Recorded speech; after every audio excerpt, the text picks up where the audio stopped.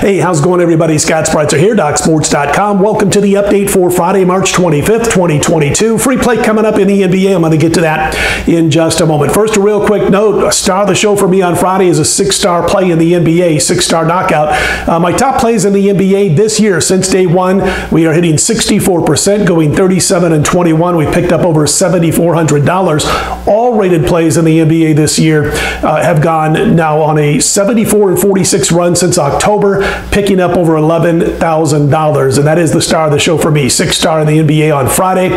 I do have hockey. I've got a five star, just my fourth five star hockey play of this season. Uh, we passed yesterday. And then in college basketball, I've got three plays. I've got two sides and one total, all from Friday's big dance action. I lost with Texas Tech last night. It was my lone play in college basketball. And uh, we started out just fine Thursday and Friday, but Saturday, Sunday, and Thursday have been horrible for me in the big dance in college basketball. We'll look to rebound on Friday. Uh, just a heads up, if you're going to jump on board, we do have the three three-star rated plays, but it hasn't been going good the last three big dance days, Saturday, Sunday, and last night I lost with Texas Tech. If I didn't just mention that, it's late.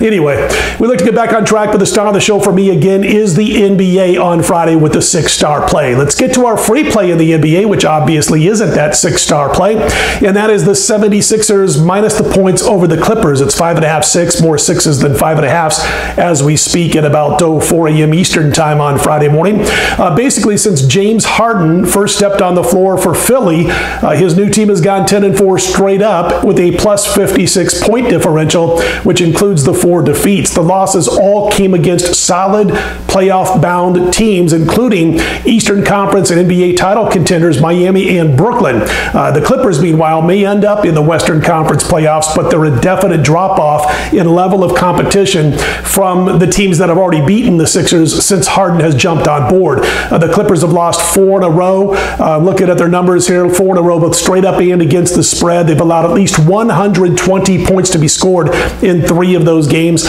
Philly minus the points, the free play in Friday's NBA. And again, star of the show for me on Friday is the sixth star in the NBA. We'll look to go to 38 and 21 with my high end plays this season, 75 and 46 overall in the NBA.